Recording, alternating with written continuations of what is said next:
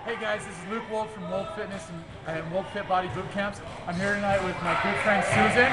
She started with me eight weeks ago and she was just telling me that she lost 12 pounds and lots of inches. So, Susan, um, how was it? It was awesome. It's great. I feel wonderful. I feel the best I have in years. I'm excited. Thanks, Luke.